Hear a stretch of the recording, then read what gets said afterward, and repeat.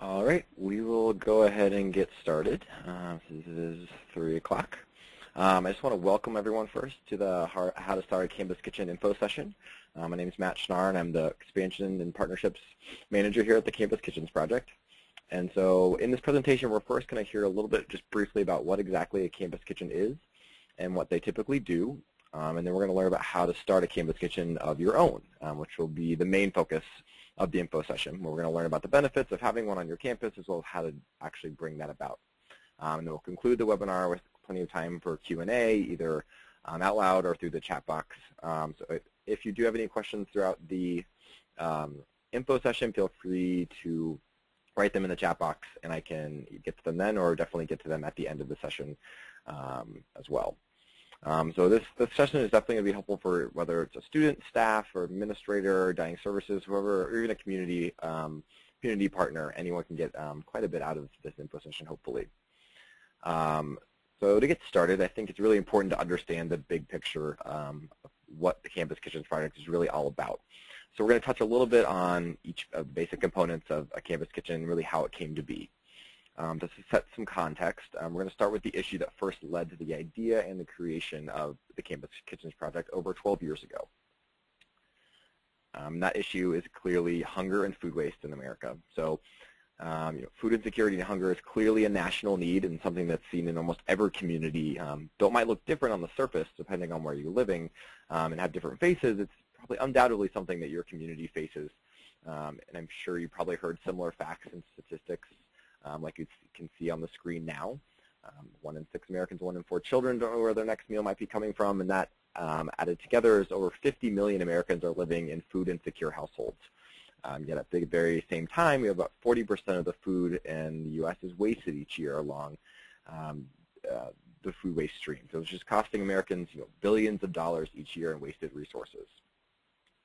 Um, kind of another factor at play is um, the idea of, of, academic institutions and the idea of service within those. Um, so across the country today, we have the, a generation of young adults um, that are you know, the most engaged in service that has ever existed um, to date. Where about 90% of incoming college freshmen have already been engaged in some sort of community service prior to college, and they really understand the importance um, and see the value of service as a part um, of their academic experience. Um, and then at the same time, about 90% of most campuses include something about civic engagement or service as part of their mission statement. And again, really see the value of having that be a part of their students' experience through their, through their, um, their college or high school years. Um, so we know that college students really want to give back um, and serve, but they also really want to you know, see the impact of what they're doing. It's, it's not okay just to do a service opportunity and not really understand why or see um, the, the impact of their work. They really want to be able to see that they're affecting change within their communities. So another factor, um, to kind of again continue to set the context here, um, are untapped resources. So these students that we're talking about reside in over 4,000 colleges and universities across the country. Um, and nearly every single one of those schools has um, the following same things, which one, one is um, you know, an on-campus kitchen space that's not utilized or either underutilized at certain hours of the day. Um, we have various quantities of surplus food from dining halls, which is part of that 40% waste uh, we referenced earlier. Um, we have these active and engaged students um, that are interested in getting real-life marketable skills and experience during college, as well as you know that idea of giving back and, and contributing um, through service.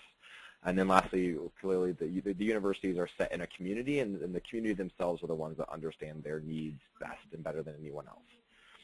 Um, so let's kind of put these ideas together of this, the national food security need. Um, we have the active and engaged student body um, we have these untapped resources on our campuses. And so within that kind of interplay and mix of factors is exactly where the idea of the Campus Kitchens project was born. Um, so meeting needs by utilizing excess um, is a pretty simple idea and it makes a lot of sense. Um, and here at the Campus Kitchens project, we feel like we found really the most effective and impactful way to make that happen on your campus. All right, so let's talk a little bit about our philosophy in general. Um, so those who founded the Campus Kitchens project um, realized that they really that they could put all of these pieces together. Um, that student leaders could recover food that would otherwise be going to waste and put their university dining halls um, to use after hours to then feed those who are struggling with food, um, food insecurity in their communities.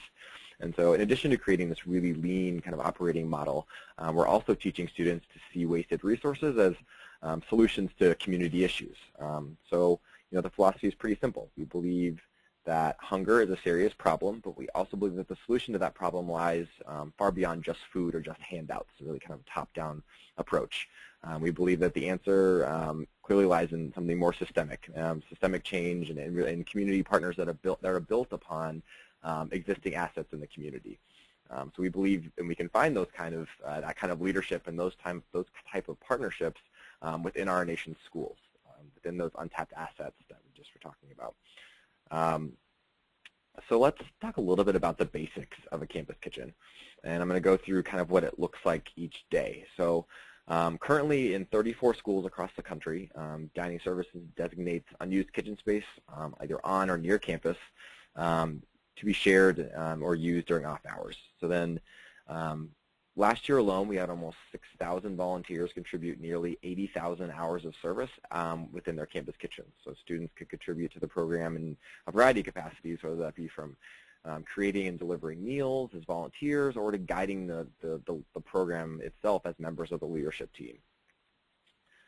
Um, so those students take the recovered food from dining halls, food banks, grocery stores, even farmers markets and farms, and store it on their on-campus kitchens. Um, last year alone, our schools recovered over 70, 750,000 pounds of food that would otherwise have uh, gone to waste completely. So then with that food, the students take part in cooking shifts, either two to five times a week, um, to prepare and repackage um, the donated food into balanced, nutritious meals. Um, and again, last year alone, our schools were able to prepare over 280,000 meals um, that are then uh, transported, deli delivered, and, or served to community partners um, in their in their specific communities, and even to individuals in need. So whether that be in shelters, after-school programs, low-income housing complexes. Um, and, and, again, last year alone, our campus kitchens across the network fed over 9,000 clients and, and, worked with over 160 agencies, um, adding you know, nearly $750,000 of economic value, value back into the communities that we serve across the country. Um, so you can see just by this quick graphic the impact that we have by the numbers, um, and, and, it's fairly immense. But, but here at Campus Kitchens, we know we're not just talking about numbers and we're not just talking about meals. Um, and we do always say that we're never going to feed our way out of hunger, and food is clearly not going to be the only answer to this problem. Um, so the, at campus, uh, here at CKP, we really encourage all of our students at our schools to think about using their quote-unquote food as a tool um, to enter into deeper relationships with the clients that they're serving. Um, so there clearly are underlying root causes of hunger that might have nothing to do with actually being hungry. Um, and these needs need to be addressed along with also meeting the immediate needs with food. Um, so by starting with meals, our students are able to get their foot in the door and start relationships with the clients that they serve. So eventually they can learn um, about the other needs that they might have. Um, so and once those needs have been then identified by the clients themselves, the students can help in creating community-focused programs to meet those needs that are really tailored specifically um, to their community and, the, and, those clients specifically. Um, clearly with the client input and, and, their collaboration at every step along the way. Um, so some kind of good examples to kind of actually tangibilize you know, what, um, this, what this looks like on the ground um, are we'll go through a couple categories, but the first one is nutrition education. Um, clearly, it makes sense since we're talking about food already to go dig a little bit deeper um, by doing nutrition education lessons with the, with the uh, clients that we work with. So, you know, students can, can create and even conduct their, their classes for youth, for families, seniors alike, um, focusing on the specific health needs and concerns um, related um, to hunger and food insecurity. So some do you know, SNAP outreach, so getting individuals eligible for food benefits. Um, some do demos at farmers markets, um, so they can learn how to actually cook healthy um, and affordable meals. Um, they'll do nutrition classes, um, just so people can be educated on healthy eating, habits. We, we actually have just recently created a uh, nutrition education curriculum along with Sodexo Foundation that we provide to all of our um, schools that are interested in, in, starting a nutrition education program with the clients that they serve another kind of category of this kind of beyond meal kind of programming um, are working with community gardens or community farms. Um, so we have um, a large number of campus kitchens that have either chose to create um, their own or partner with an on or off campus garden or farm, which has multiple benefits, um, including not only you know, increasing the amount of fresh produce they can use in their own meals that they serve to their clients, but it also, gardens and farms provide you know, a, a, an amazing kind of platform for um, education and just connecting with, with the partners that they serve so that you know, seniors or youth can come, that they're serving meals to can come and help, um, not only help with, with the garden or farm, but also learn about where, you know, where food comes from and how food grows um, to kind of continue the education, um, you know, educational process. All right. Um, some campus kitchens focus on um, economic empowerment types of programming. Um, so some lead culinary job training programs where they're getting members of their community certified in kitchen and food safety so they can enter into the restaurant industry, restaurant um, hospitality industry. Um, we have some campus kitchens that have brought um, on farmers markets or CSA drop-off sites to their campus which create just more selling points for local farmers. Um, we also have some campus kitchens that work to create food hubs that really expand the consumer market for local farmers in their community. And then again, kind of lumping all the rest into one category, any sort of community development um, that can happen within within um, within the specific communities that our campus kitchens work. So it can be you know, working with seniors to do health and wellness classes, um, working a lot of different intergenerational service projects um, are happening with our campus kitchens. We do do after school programs if we're working with youth or doing tutoring, doing backpack programs for students that might need meals on the weekends, um, or even doing community dinners where they bring um, students can, you know, serve and share a meal with those in their community um, that, you know, might be a specific population like veterans or homeless. And so the, the main point being that, you know, these types of programs um, are you know, created out of um, you know the specific needs of the clients that are that are already being served through meals, and so that you know the the programs are always going to be unique um, to that specific school and that specific um, community. Um, all right. So let's look quickly kind of um, on a another main uh, or important um, kind of outcome of the Campus Kitchens project and something that you know, all, again always been an outcome but is now becoming more of a focus of what we do is, is the student leadership development piece. So these students that we'll talk, we'll talk a little bit more about this in depth in a bit, but these students that are especially the ones running uh, the Campus Kitchen on the leadership team are gaining you know, just kind of invaluable um, experience that not only helps them in the classroom um, through a lot of service learning um, collaboratives, but also after they graduate. Um, they're able to provide, they're able to come to, to the table with a lot of really marketable um, and, and job and job related relevant skills um, that they can bring into the marketplace no, no, matter where they really go after college. You know, they're they're they're in essence running a nonprofit for for those however many years that they're working with the campus kitchen. So not only you know, are they leading their peers, but they are you know, potentially balancing budgets or writing grants or um, managing volunteers or you know, you know doing large-scale events. Um, different kinds of things that that are that are really um, uh, great for students to have you know al alongside of their um, you know educational in the classroom experiences. All right. So now we've kind of done a brief overview of the Campus Kitchens project um, at large.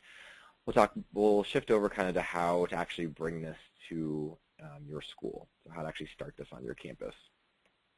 Um, we have created a really a very streamlined process uh, for schools to follow to hopefully make this process as easy as possible. Um, we have broken down the planning into um, four major categories, as you'll see on the screen now, which one is general school support, one is student support, one is dining support, and one is community support. Um, we're going to take a look, um, and, and, and, clearly, you know, all four of these kind of pillars of sorts are necessary to to bring a campus kitchen to a school. Um, how it actually happens might look differently, and we'll talk a little bit about that when we look into the specifics. Um, but without one of these, it's just clearly not going to be a, a, strong campus kitchen if there's not support within those categories. Um, so we're going to take a look at each group, and then after I explain a little bit about each group, I'll give you a next step to kind of start, you know, start the process on your campus so you can really get started right away. Um, and these next steps are really just the first step of um, part of our brand new online tool called the Campus Kitchen Planner, um, which you can find on our website, um, and I will go over a little bit more later in the presentation. that was created um, to lay out all of the necessary steps that, that you know, a school or students must go through to ensure that they'll be ready to support their campus kitchen at their school. Um, the planner will go much more in depth into each of these categories we're about to cover, um, and it should definitely be the kind of the home base for the team that's planning um, the campus kitchen at your university or at your school. All right, so let's jump right in to um, school support.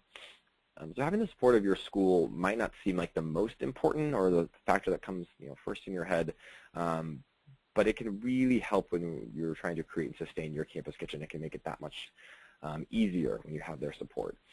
So each campus kitchen at the very least needs what we call a sponsoring office, um, which is just a, really a place for the campus kitchen to call home as, if, as any other you know, service-related program would. Um, so this usually or typically falls under an office of service, service learning, civic engagement, uh, whatever that might be called on your campus. Um, it also might fall under campus ministry um, or even an academic department such as social work, nutrition, culinary arts, or even the business school. Um, some schools start their program through a class and use their professor as a sponsor. Um, you know, this group, whoever it may be, are really going to be the first group you need to reach out to um, and you, need, um, you know, along with connecting with other students and programs and, and, other staff members, but you know, pinpointing what office on campus um, is really going to be, um, you know, the main sponsor of, of, the campus kitchen. And the reason for this is, and we've seen over the years that having a you know, stable place on campus um, for the campus kitchen to really reside helps with the overall sustainability of the program in the long run. Um, you know, aside from having the sponsoring office, and we have many tools on the Campus Kitchen Planner that can kind of help guide, you know, which which office might be the best. We have some feasibility tools to really see if if this person or this place really makes the most sense for the Campus Kitchen, um, what what its needs are, and if they can really be met through that office or that person. Um, but aside from having the sponsoring office, you know, fostering uh, a variety of support on campus through other staff and administrative support um, is, is really crucial. So in the, in the, beginning stages um, of Plan A Campus Kitchen, it really is just about reaching out as, as, as widely as possible to see who might be interested. Um, you know, talking to the president or provost or even dean of students if you have a connection with them immediately can be can sometimes be a good idea. You know, talking with just multiple staff and multiple faculty um, across across the board that might be um, that might be interested, and not limiting your limiting yourself to just the typical, you know, staff or departments that you think might be interested. So not just reaching out to just the nutrition department, but reaching out to, you know, if you're a communications or PR person, reaching out to your your uh, your faculty and staff within your department just to kind of or, or environmental studies or whatever your it might be, just kind of gauge interest because you never you never really know what kind of support or what they might be able to bring to the table, even if they aren't going to be your sponsor. Um, a lot of campus kitchens have what we call an advisory board or an advisory team, which is full of, you know, the, all those different staff and, and faculty and, and administrative folks, but even folks from the community that want to, you know, help to be a part of the, the campus kitchen, but maybe, you know, from a planning standpoint, or maybe they can help with with funding or with uh, with events. So, so again, keeping your eyes and, and mind open to anyone that really wants to be involved at this point is, is really to your benefit. And also to make a note that um, you know, as you make relationships with those, with, with, with anyone, especially faculty and staff, but realizing that at the end of the day, um, someone from your university or college administration is going to be the one signing the contract um, to make the agreement official and to join our network. So having, you know, continuing to try to see if you can get folks that, that might be able to connect you with, with those that are going to be able to make that final um, decision at the end is always really helpful. Um, so clearly the next step, which I already kind of talked about, is meeting with your potential sponsoring offices on campus or even pinpointing which ones might be um, um, promising and then setting up some meetings just to pitch the idea of the campus kitchen to them. And within the planner we have some great kind of pitching tools or documents and resources to help you kind of come to the table with an educated um, stance on, on, what you're trying to say and, and letting them know that you know you're coming with the backing of a national organization that's been around for over a decade and has a following of you know 30 plus schools across the country that have been doing this exact thing. And so knowing that you know that it's not just you coming with this crazy new idea that you want to do, but you have you know again the support of of, of, of a national organization and staff to help through this entire process is really key. Okay. So we will quickly make sure I'm great. All right um, move on to student support. Um, and students clearly are at the core of every campus kitchen, and they um, are really the driving force of what a campus kitchen is all about. Um, they can students can hold a variety of roles within a campus kitchen. So, um, you know, having a really strong leadership team um, is really key, not only during the planning process, but also clearly once your campus kitchen is up and running.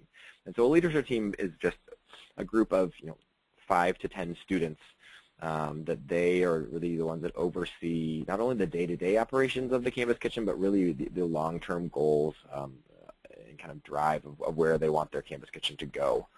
Um, leadership team is not, you know, it's there typically is you know, one student coordinator, one student leader, but then everyone else on the leadership team does have this specific role or duty. So, you know, it might be someone oversees the cooking operations in the kitchen, or someone oversees PR and can, you know, and managing their on-campus relationships, or someone might be a volunteer coordinator. One might manage their client relations outside of campus. Um, so kind of having that um, the specific duties um, and responsibilities defined and make, make a really strong leadership team.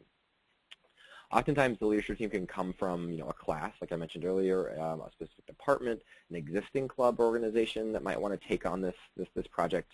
Um, but it can also just be recruited in general. Just if you have, you know, a bunch of do some general recruitment on campus, or if you have a bunch of your friends that might are interested in similar things, getting them involved um, and, and having them, you know, first and foremost, even inviting them to join your Campus Kitchen Planner. Um, you can invite all of your leadership team, or actually anyone who's interested, to join and to come see and be a part of the planner in the planning process. Um, uh, clearly, aside from just a leadership team, your students also have to be the volunteer base of your Campus Kitchen. So, you know, the physical manpower running those those cooking operations and the deliveries and the food recovery. Um, you know, so you know, aside from the fact of of getting just a strong leadership team, which is which is important um, in the very beginning, you have to start thinking about, you know, where am I going to get my larger groups of volunteers? So working through, um, you know, offices, the Office of Service, or even through Greek Life or other or other clubs, uh, service-oriented clubs that might um, might be able to pull upon a larger base of volunteers. Um, you know, students have the opportunity to you know work their way up um, in terms of leadership. So getting students, you know, as they're coming into college as just being volunteers and then you know maybe leading one one shift a week their next year and then maybe becoming part of the leadership team and then eventually maybe running the entire campus kitchen is the kind of the ideal scenario of of kind of keeping students going through this process so that there are no gaps um, gaps in service or gaps in leadership. Um, let this go. There we go. Um, talking a little bit about leadership um, in terms of the structures that many campus kitchens have. Um, each program, like I said, has a student coordinator, regardless of other leadership above that. Um, and they're you know in charge of reporting and oversight um, and, and, kind of again just relaying information to our national office. Um, but some schools, so some schools are completely student-run um, with just that those student coordinators and then that sponsor or advisor that I spoke about earlier. Um, other schools do have some sort of part-time staff involved that they might have an AmeriCorps Vista, a grad assistant, or just a staff person that might be um, you know, helping to assist the student coordinators and the student leadership team just a little bit further.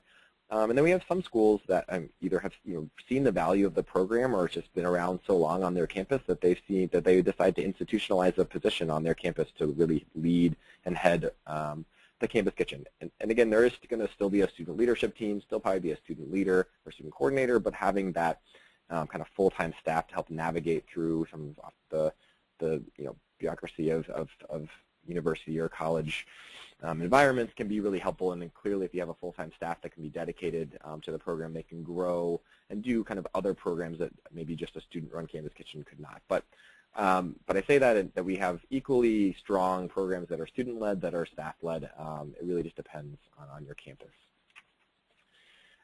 Um, since we're talking a little bit about the day-to-day of a campus kitchen and the students, I thought it'd be good to kind of just give you an example of what a typical week in a typical campus kitchen might look like. Um, clearly, this is adaptable to every scenario. It's not going to look like this at every campus, but to give kind of a, a, brief look of uh, at what kind of happens on a, on a typical week.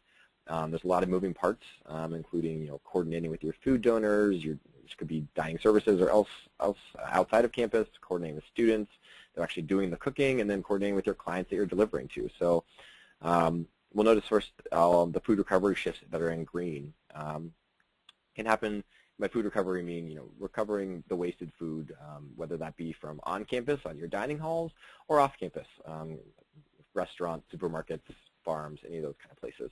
Um, takes you know about two to four volunteers depending on where you're going. Sometimes, sometimes dining services will bring all of their leftover food from their multiple dining halls to one central location um, where that, that food is then stored, labeled and stored properly to be either used you know, that day or that week or you know, if you have freezer space, frozen to be used later. Um, next, you'll notice in blue, um, we have the cooking shifts, which can, again, either happen the day of um, a food recovery shift if you're kind of if you have a really uh, efficient system and be able to bring and have pretty consistent food donations coming in, or um, cooking can also happen, you know, after um, if you have a pretty good stockpile or have a good freezer and, and things that you can pull from um, to create those meals. So the cooking shift, um, it can look a lot of different ways um, depending on your campus kitchen and what kind of donations you're, you're getting in. So if you are a campus kitchen that relies heavily upon you know, the prepared food that's being donated from your dining hall, a lot of your quote-unquote cooking might more might look more like repackaging and repurposing that food. Uh, you know, if you get a pan of lasagna, you don't really have to really cook that. It's more just portioning it, portioning it, and putting it into either you know individual containers or bringing it as is to a congregate style type of meal. Um, if you're getting a lot of fresh produce or getting a lot of raw product, um, there might be more actual scratch cooking involved to create, or and, lot, and oftentimes it's a combination of the two. So you know maybe you'll get a you know again a main entree or protein that's already created, already um, prepared through dining services, but then you might um, you know cook from scratch the different sides or some vegetables or, or, or things like that. Um, and it is oftentimes you know a game of chance, um, and, and, I think students tend to really think that's an, actually an exciting part of working at a campus kitchen is putting together these meals on a daily or weekly basis um, that are you know well balanced and nutritious. So, and then the final part you can see in red are the delivery shifts. So um, those again can either occur after a day after the cooking shift or either or either or you know, the same day right after you prepare, kind of depending on your clients and also um, you know clearly there's there's safety measures that need to be taken if if you are delivering um, day after you have to um, clearly cool down all your food and store it, and then deliver it cold, um, mostly to individuals. That's typically how it works uh, if you have individual clients. If you do serve, you know, maybe you have a community dinner where you're serving that meal hot um, to a group of people, you would definitely be um, either reheating it on location or just taking it straight from when you were cooking it straight to your delivery um, within the proper time frame. Um, so yeah, that is a quick kind of rundown um, of, of just, again, just a kind of a typical um, schedule um, of sorts uh, for uh, for a campus kitchen. We'll kind of look at the next step. Clearly the next step for student support is to establish a student leadership team. None of this, none of these logistics of, of setting an operation schedule or doing any of these things can happen without a strong group of students that are um, committed to this project. So getting them on board, getting them within in the planner, kind of seeing what's available um, is really the first step that needs to happen. You can, again, look at getting a class or a club to sponsor um, what you've done or just, again, general recruitment of, of, of students. All right, we're going to move on to the third kind of category, which is dining. Um, I think dining support clearly is an, another crucial component just because of what they're bringing to the table, um, which is um, you know, food and oftentimes space and expertise. Um, and, and, it, and, I think a lot of people, this is the one that's the most unknown because most the average student or staff may not be very, um, you know, understand fully what dining service is about and when how they can help and what they can do. Um, so generally, they're going to provide a few key things. Um, again, in an ideal situation, they're going to provide you know their idle kitchen space or either part of their kitchen space um, that you can utilize during you know when they're not using the kitchen at all, or even when it's just non-peak hours. So when they might they might just be preparing their meals as well, um, but students aren't actually coming through for meals. Um, they also ideally would be able to provide some sort of types of storage for the campus kitchen. Um, it varies in the, in the amounts depending on the school and the relationship with the dining service provider. But in an ideal scenario, they would have some dry storage space, some cooler space, and some freezer space to be able to keep some of their food um, so they can be more flexible in the meals and types of meals that they produce. Um, also, they're clearly going to be providing donated leftover food from their meal service. Um, again, in varying amounts, and the amount that you know they provide will really dictate you know other donors that you'll need to reach out to in, in the community. And I mean, I think most of our campus kitchens have a good balance, and I think it, it makes it for, makes for better and you know, well-balanced meals if you have a variety of donors and not just your your dining hall, but also you know a supermarket or a farm or a farmer's market or maybe a, another restaurant um, that can provide some kind of variety for the types of foods that you're getting in. And then oftentimes dining staff also, um, also can act as kind of kitchen safety support, um, doing you know maybe once a semester trainings or just you know be on call um, and by no means do they have to do this as their full-time job, and we'll talk a little bit more why that isn't the case. But you know, a lot of times dining service staff get really invested in the campus kitchen, and they see the value of the work that they're doing, and being able to partner with with the students and the school at large. Sometimes is, is something that's really unique um, for not only the individual staff, but you know, the, the dining service provider at at large. Um, so, you know, dining service support, though, especially initially, can oftentimes be one of the more difficult components due to just the many, um, you know, the fact that many dining service staff may have initial concerns about, you know, donation liability, kitchen safety hazards, those types of things. Um, but CKP Campus Kitchens Project has provided, um, through the planner and, and, and through our support, a lot of different um, tools and resources for you to really hopefully pitch the idea, especially on the initial pitch, with a lot of educated, with a lot of education behind it, so that they you can kind of hopefully breach some of their initial concerns. We basically we basically know all the questions that they're going to be asking, and so hopefully we can provide you with some of the answers on on the front end, so you're able to really you know initially answer some of those those those questions that they might have concerns about. So clearly, liability is always going to come up um, in this conversation. So, and it's always good to, again, um, well, it's good to focus on or see if they are even familiar with the national legislation that's in place. Um, so the Bill Emerson Good Samaritan Food Donation Act um, is you know, national legislation since 1996 that protects all those, including universities or schools or colleges, who donate leftover food in quote-unquote good faith to needy individuals in their community. Um, you know, oh, they might be aware of this and, and or they might not, but it's a great kind of foundation or baseline, um, you know, coverage. This is national legislation to make sure that they do realize that this is something that is legal and that is, um, and that they can be participating in. Um, so on, kind of on top of that, the Campus Kitchens Project takes measures that go far beyond you know, necessary industry standards um, to really encourage the proper safety um, and sanitation of the operations that the students are working in, especially when they're in the kitchen. Um, so we have, alongside of a leading um, dining service provider, created our own kitchen safety paperwork system called HACCP, which is Hazard Analysis Critical Control Points. Um, what this does is this tracks our food um, from in the door through, through the cooking process, throughout the door to our clients to really allow for safe time and temperature procedures um, to be taken. Um, and it's these kind of systems, because we realize we're dealing with volunteers, we're not dealing with professional chefs, but it's these kind of systems um, that we use when handling food that makes sure that we're handling it in, in that quote unquote good faith that keeps us protected by the by the by the Food Donation Act. Um, on top of that, we require that students on the leadership team or those that are leading any shifts within the kitchen be ServSafe certified. And what a ServSafe certification is, it's an online certification that anyone working within um, the restaurant or hospitality industry, anyone who's handling food um, even those that are working in the dining service at your school will have a ServSafe certification. So we require that our students that are you know, leading those shifts or leading, leading the volunteers on a regular basis also have that knowledge of food safety and food handling. Um, so they're able to um, you know, bring that knowledge to the volunteers or and just also have, be able to oversee and have some you know oversee a shift and make sure that the food is being handled in the safest way possible.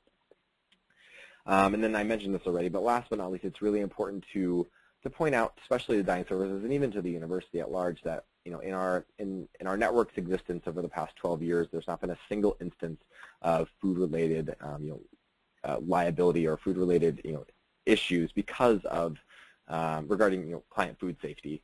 Um, because of these measures that we're taking that again go far beyond what a typical maybe restaurant would do in terms of reporting and, and tracking um, of, the, of, the, of, the, food coming in and of the food going out.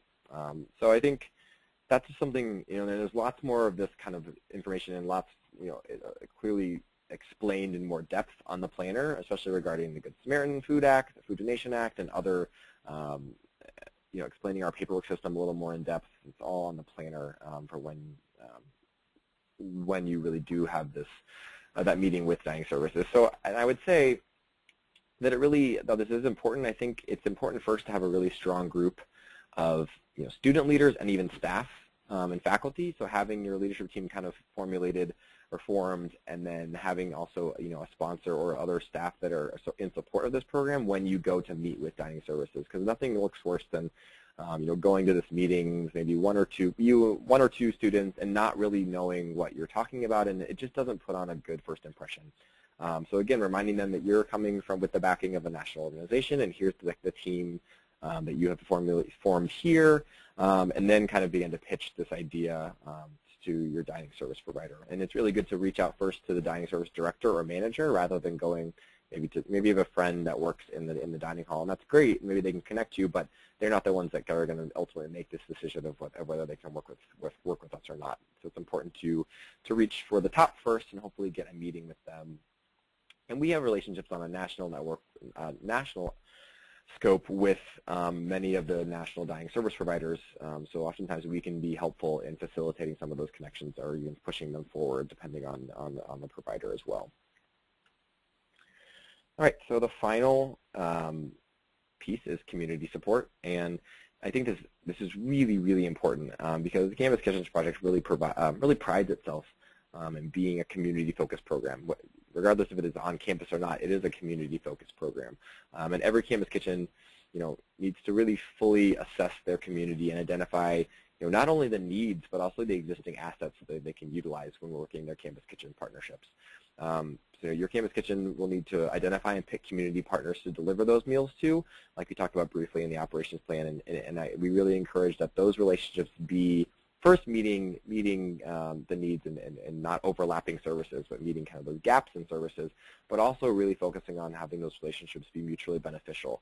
Um, you know, making it that you know those that you're serving can also provide things um, to your campus kitchen and, and, to the students, because having that kind of relationship, I think, makes the program as strong as it can be. It makes its impact really, really great. Um, so, yeah, having having you know that in the forefront of, of your planning and realizing that you know you really want to focus on assets rather than just you know coming in and saying here's our idea of what we want to do but um, like I mentioned um, before with our programs having the clients or having the community really have um, the first say and, and, be take lead in what they what they want and what they need because they're the ones that know it best um, and that's the way I think uh, some of our most successful campus kitchens are able to really thrive. Um, so we have some great tools, again, on the planner. If you're kind of at a starting point of, you know, how do I, I don't even know our, our community that well, what are the needs, what's, what's, already, what's already present, we have some great, you know, asset mapping and asset inventory um, tools to help you kind of start that process um, with your team. And I also think it makes a lot of sense to also piggyback off of um, existing services that your, that your school is already providing to the community. So let's say that you have a Big Brother, Big Sister mentoring program already that's facilitated um, through uh, you know a campus your campus service office. Um, it'd be great to approach maybe the Boys or Boys and Girls Club or whatever you know youth organization you're working with and say, hey, we're already providing these um, you all with mentors and tutors um, from our school. Would you also like us to provide meals or snacks for your after-school program? Um, so hopefully there's already a good relationship that's in place so that you can just kind of piggyback alongside of, of, of the the, the services that are already be, being provided. So that's a lot, oftentimes what I will say if, if uh, schools don't really know who they want to serve. Uh, but oftentimes they come to the table, you know, that their clients, the one, they, the impetus of starting the program oftentimes comes from them seeing the need and having a pretty good idea of who they want to serve. All right, so let's talk a little bit more about the logistics uh, of the program as we kind of come to nearing the end of this. Um, talk a little bit about cost and benefits um, of the campus kitchen. So startup costs for a campus kitchen can be very, very low um, when, when in an ideal scenario materials and supplies are shared or donated in kind, whether it be from um, dining services or elsewhere. Uh, most kitchens, you know, get their disposables or hard materials like pots and pans and things donated directly from. They're able to use, um, you know, those at, on their on-campus kitchen within dining services. Um, so usually the investment costs on those kind of things are very low and might just be you know, insulated bags or you know, transportation for transportation. Um, again, and I, sorry, I'm just showing this news on the screen, the, the costs um, breakdown. You notice that you know it shows a, a monetary amount, but also either or could be in-kind donations. So kind of looking at that. Um, yeah, so hard, hard materials and pantry supplies. Some people buy basic pantry items. Um, you know, such as staple goods that they're always going to use, like spices and salt and pepper and, and, and oil like that. So there are some, some small costs for that to kind of stock their pantry. Um, but often those can be donated, you know, through can drives or other drives on campus.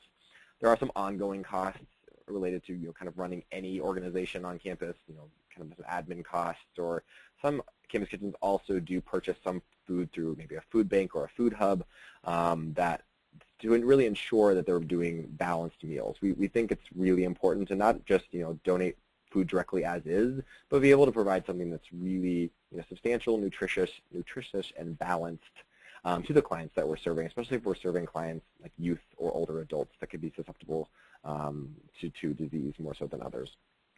Um, there is an affiliation fee with joining our network um, that I'm going to talk a little bit more about in a moment. So I'm not glancing it over. I'm not glazing over that, but I will go back to that in just a moment.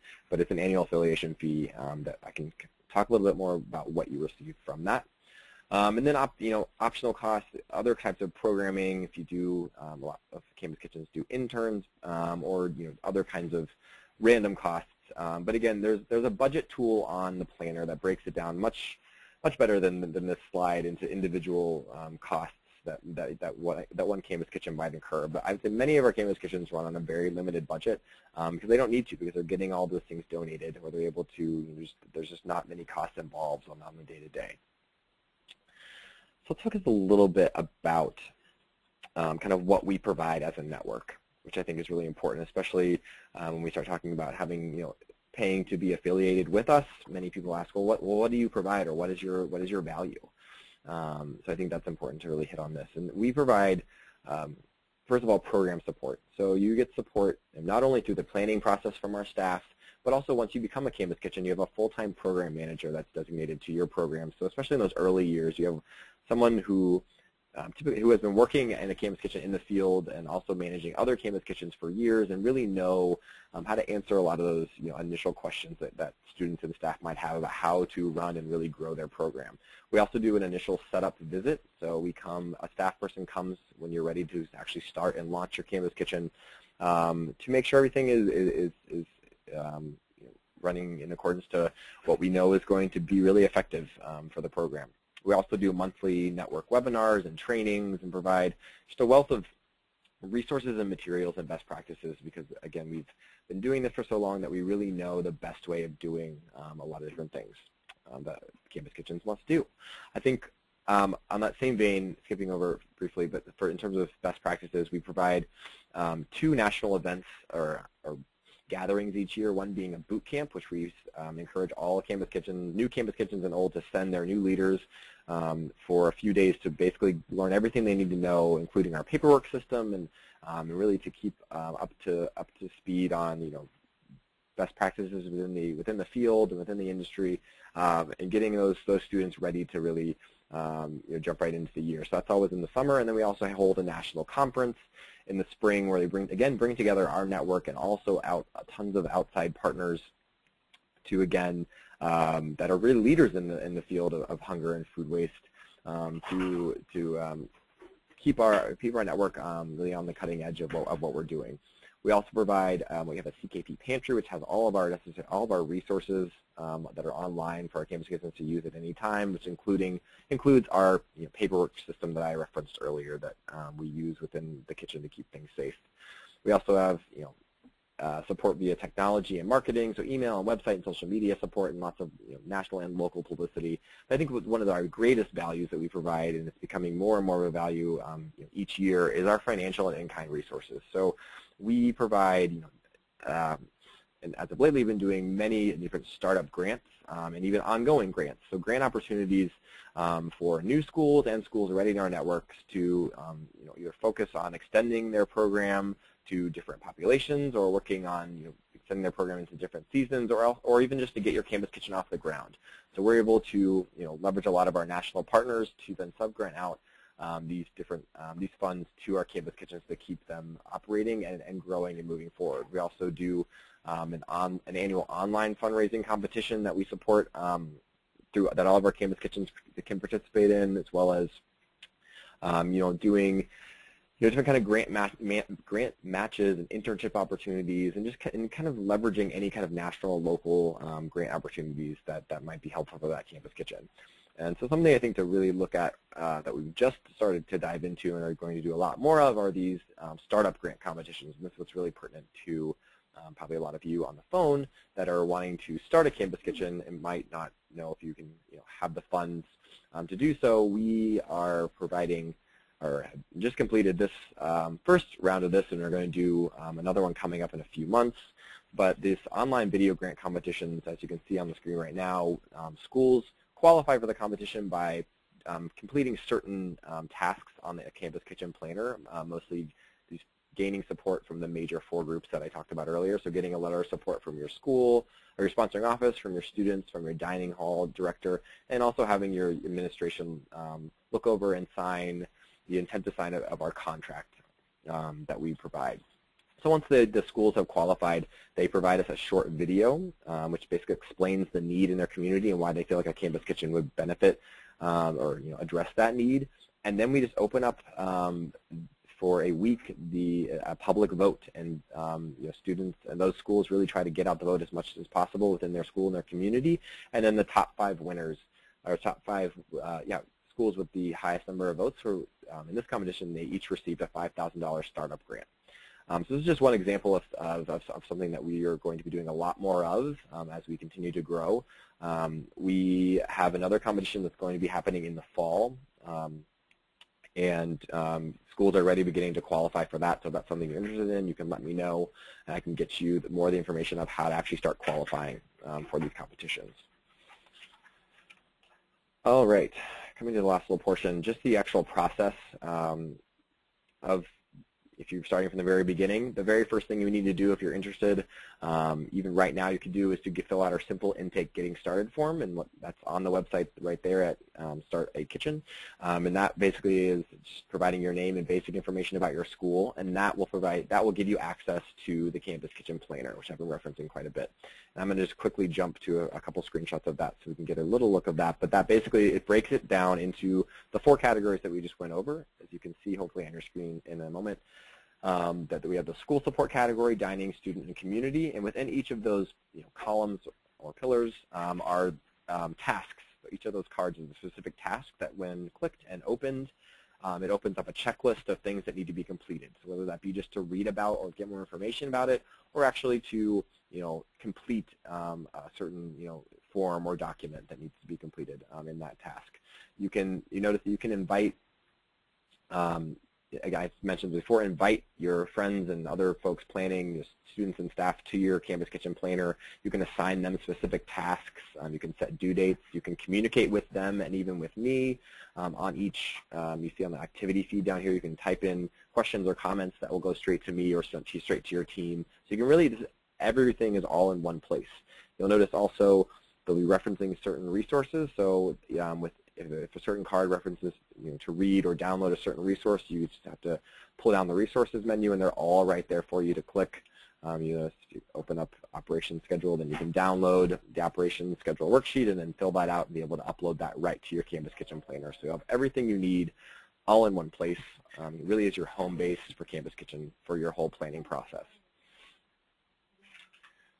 And then after that, so when we set up the planner um, to the point that, you know, if you've completed every check, um, you know, every task and checked off every checklist within each task, at the end of that, you're, you're fully ready to launch your Campus Kitchen, and we're, we can rest assured in that. So the final step is really not much of a step at all. It's just um, to complete the final contract that's being signed and do a quick um, you know, readiness check with us over the phone, and then we're ready to you know, set a launch date where we can send the person from our staff to come and actually do your setup visit. Many campus kitchens do a larger you know, celebration launch kind of a, event with, with media and other things to really celebrate um, the, the, the, starting of their work that they're doing. All right, that is the, is, is the gist of it. Um, I am, again, more than happy to take questions now from the chat box um, or um, over the phone, or you can clearly at any time reach out via email or giving me a call um, if you have any specific questions. Um, I would love to chat with you, and that's definitely part of my, um, oh, seeing what, what happens. Oh, it's a great question. Um, Ryan asked what happens during the summer. Um, so uh, we, in the past, it's been a variety. It depends on the campus kitchen. Some have run operations through the summer, some haven't. But it's been a large push of ours from a national standpoint to get all of our campus kitchens running throughout the summer. Um, whether that be at you know exactly how it usually is, or whether they kind of change their their schedule a bit, or maybe some of them just do certain types of programming, or some might do you know, grocery bags instead of meals. We want something to be happening to kind of continue that relationship with the clients that they serve. Um, one of our grants that we have just recently um, awarded to a few of our schools within the network was specifically for um, amping up their summer operation. So it's providing um, you know, student uh, student internships or student stipends for them to really get more, not only student volunteers, but also community volunteers to come in maybe when students aren't available. So reaching out to other folks in the community at churches or faculty and staff, or maybe even with you know other connections to, to make sure that the, the, the campus kitchen really run on, on um, all year long. So it's something that we each school does a little bit differently, but it's um, we've seen every year an increasing increasing number of our schools be able to operate during the summer, and that is the goal. Any other questions? You feel free, feel free to type them in the chat box. And again, if not, I am always available via email or a phone. Um, if you're interested in, in, in, in, learning more about the Campus Kitchen Planner, be sure to fill out the Getting Started form, which can be found on the website on the bottom of the screen, um, and then can, I can give you access. Even if you're not sure if this is something you want to do, but just want to kind of look over the process, um, by filling out the Getting Started form, by no means contractually, you know, uh, keeps you in. You don't have to do anything with this, so it'll just give you um, a good um, kind of overview of what the process looks like. All right. If there are no other questions, I will. Yes, uh, I, I, should have mentioned that. Um, there will also be. Uh, I've recorded this this whole presentation, and I can send it to the attendees um, right after um, I process it this afternoon. So I can send um, a link to the YouTube video of this if you want to refer to any of these things. And I think there's also maybe an older one that's up on the planner as well if you want, want to look at it right away. Um, but yeah, I will definitely send over um, a recording. And if you even want, if you want just the actual presentation, I can do that as well. If you want to use that to help pitch to people at your school, so I can do any either or. All right. Well, I appreciate everyone taking this hour to hang out, and I hope it was informative. And again, if you have any other questions, please let me know um, at any time. All right, have a good rest of the afternoon.